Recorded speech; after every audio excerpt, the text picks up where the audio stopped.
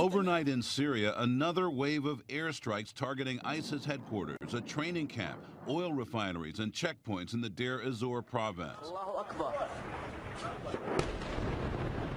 The attacks killing at least 14 militants, but also five civilians, including women and children, according to a Rights Monitor group.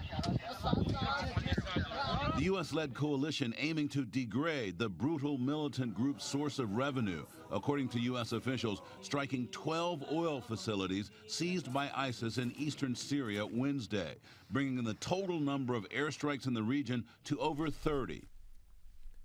There is no doubt American and allied airstrikes in Syria this week have dealt a blow to the terrorist cowards of the phony Islamic State.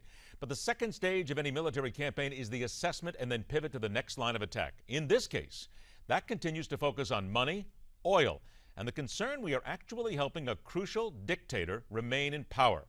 Welcome to Midpoint. The president and CEO of Blackhawk Partners, one who understands the economics and religious fervor of the Middle East players, Ziad Abdelnour. And he is also a scholar in residence at LaSalle University, senior fellow at the Center for the Study of Terrorism, Edward Turzanski. Gentlemen, I thank you both for joining us today. Thank you. Ziad, I'm going to begin with you first. About a month ago, you said on this program, and you were the first that we had heard say it, that the way to strike at ISIS was to level the oil fields, to go after them and have no mercy whatsoever. This indeed has now happened. Other networks are now picking up on it, as a matter of fact, and people are agreeing with you.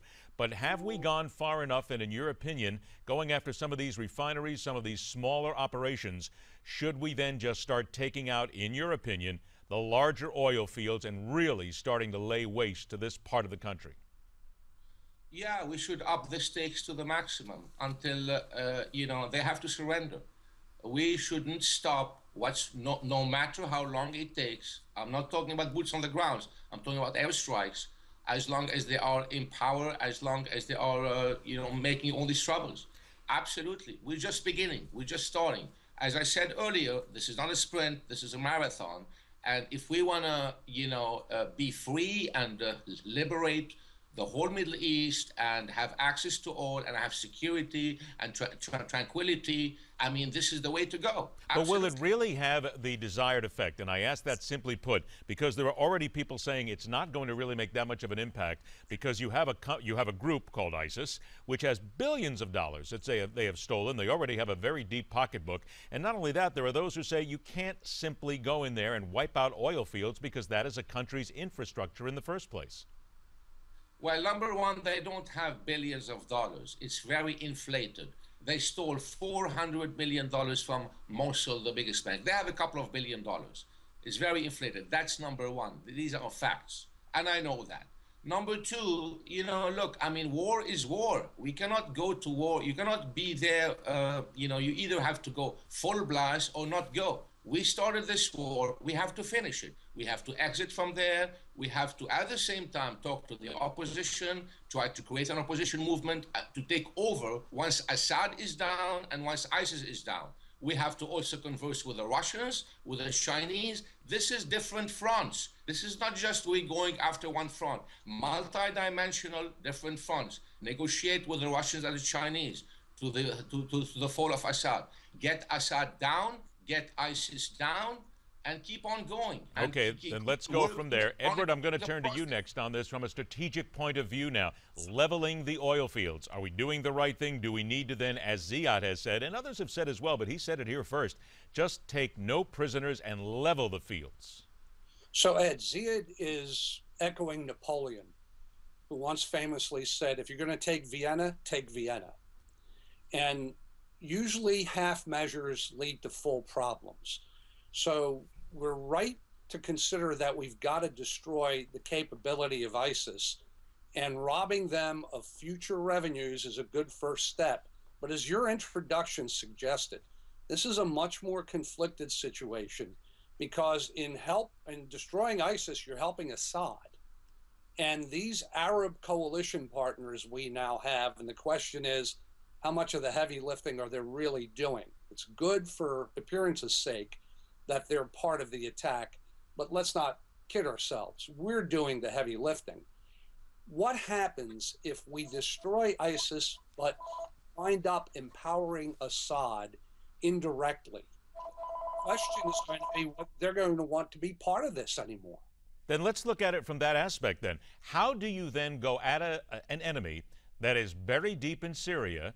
You're trying to take out whatever money they have, whatever goods they have, whatever ability they have to strike, without then giving Assad the help. It would seem that that is simply an impossible thing to do unless when you go in and go after ISIS, you take Assad out at exactly the same time. Exactly. You start. Hold on one sec. Ziad, Ziad, hold on one sec. Ziad, I'll get to you in just one second. Edward, go ahead. Yeah, absolutely. You're absolutely right. You start hitting Assad, and the best way to make that start is to start hitting his airfields. Deny him the air. And if you start putting craters in his landing, in his runway, uh, you've made a good first step, and you've also demonstrated to others that you're not there to serve as his air force. You're not going to give him the upper ground. But again, this is a very conflicted situation. And as Ziad suggested, this is going to be a long time. But aren't we then basically declaring war on technically a sovereign nation? Oh, sure we are. Look, the, we need a congressional authorization to use force. The administration is dead wrong when they say they don't need one in this case. ISIS is a different situation from Al Qaeda, as is Assad. We ought to know exactly what we're getting into only because the consequences are going to be deep and long, and it's going to take a very long time. All right, Ziad, I turn to you then. I know you've been waiting on this, but there comes that idea about Assad going after a sovereign nation. Your turn. First, I don't think by uh, uh, uh, I think we should go after Assad too. Okay. This right away. Don't even wait. Make him part. Make him part of your main target. Correct. I agree with you. I don't think we should go after ISIS and reinforce Assad. Assad, ISIS, uh, you know, all of them are in one box for, me. I mean, uh, step one is ISIS. Step two is Assad. No boots on the ground, just airstrikes. Assad is not Iraq. You know, Syria is not Iraq. I mean, well, it's not Iraq when it was at the term of Saddam Hussein. It's much weaker than that. You know, you can dismantle Syria by airstrikes.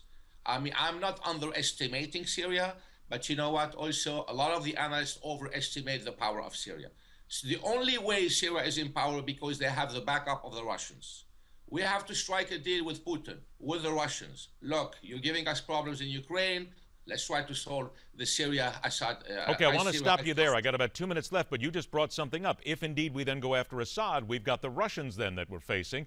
Putin doesn't seem like he's the kind of guy who's going to want to make any deals with the United States right now. So it seems as if what we're talking about is a completely impossible thing to do. Not only that, would the Arab allies that are with America right now stand still if America launched strikes against the Syrian government?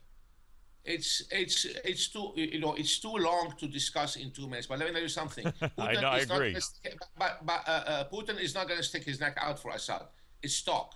Putin is not going to stick his neck out of Assad. Neither Iran. They're, they're going to stick their neck out for Assad.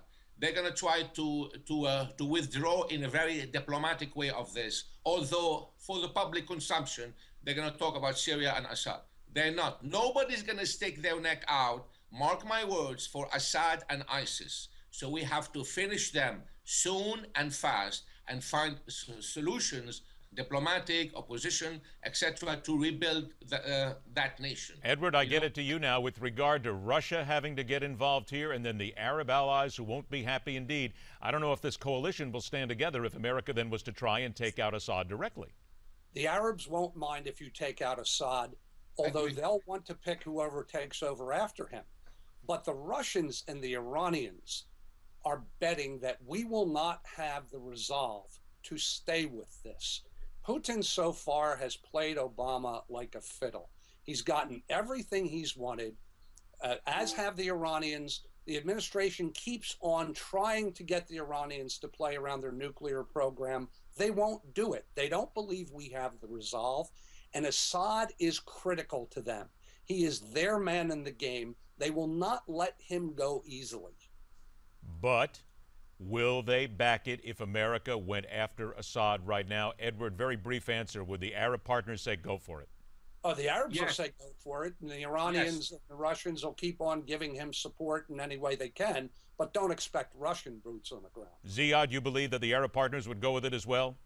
The Arab parties will go with it. Russians and the Chinese will go with it. They will not put boots on, uh, boots on the ground. They will talk about, you know, trying to defend Assad, but they're not going to do anything. Nobody's going to stick their neck out for Assad or ISIS, mark my words. Gentlemen, we have opened up a very interesting can of worms here on the Middle East today. We are going to follow up on this next week. Ziad Abdelnour and Edward Turzanski, I thank you both for your comments today. We'll look forward to doing it again.